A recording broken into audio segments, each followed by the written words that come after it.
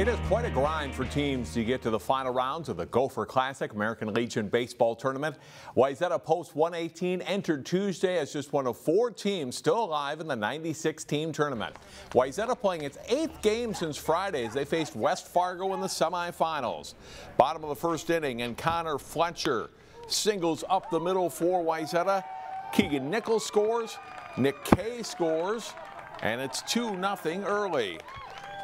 Still in the first inning, and Charles Engdahl at the plate. He tags one deep to left field. It's caught out there, but Brennan Albert is able to tag up and score easily as post 118 goes up 3 0 after one. Albert comes to the plate in the second and delivers this two-out hit off the pitcher and second baseman to drive home Cullen Stamp.